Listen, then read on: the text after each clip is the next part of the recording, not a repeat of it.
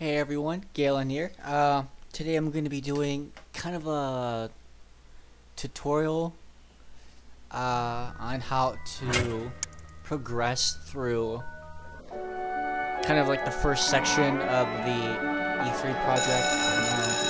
Uh, a few of you have been having some issues with it, and how to get past Transfiguration. Uh, I'm just going to show you guys really, really quick how to do that. Welcome to Hogwarts School of Witchcraft and Wizardry. I am Albus Dumbledore, your headmaster. Now, Hogwarts is full of secrets, Harry, so only the small. But alas, no. Oh, um, which reminds me, the corridor is out of bounds to everyone who does not wish to suffer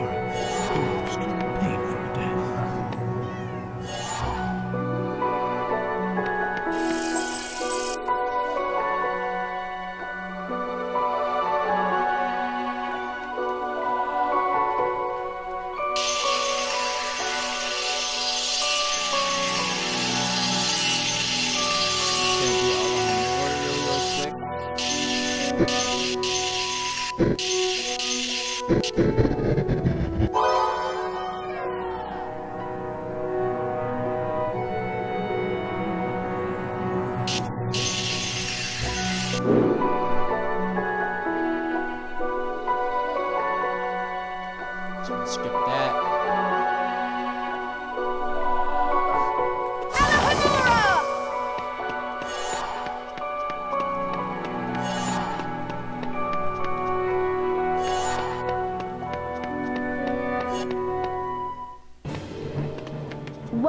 I'm Draco. These are my naturally. You let's go, boys.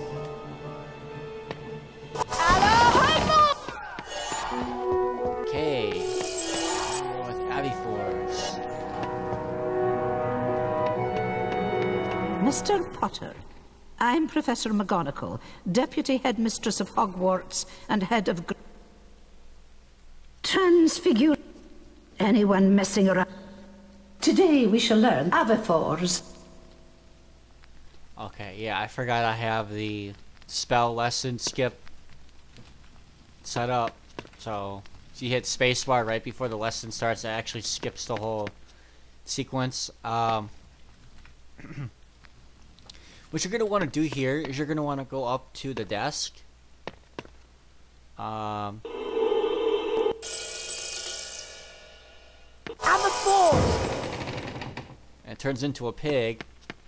It opens up this secret area. You touch the scroll.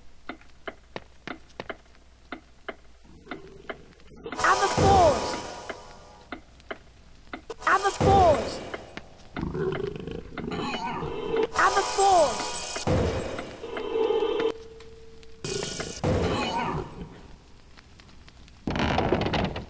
And there you go. What that literally does, it starts the timer. Uh, like you would see in the E3 video when the game first launched. Um, and you would do that um, that sequence. You hit all of the Avifors, the items that are on these tables. And then, uh, you know, obviously before the timer expires. And then when you're done, uh, you get house points and the door opens up. Um, and that's kind of how you would progress through this part of um, the game.